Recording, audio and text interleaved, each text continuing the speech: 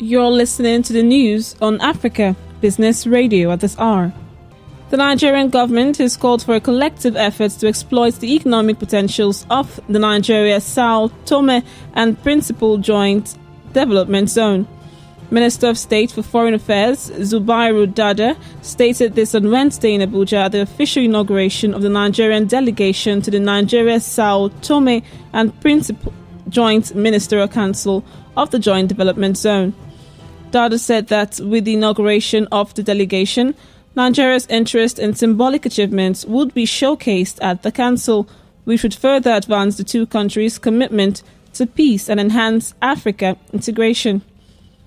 He urged the delegation to spare no room in working together as a team for the good of Nigeria.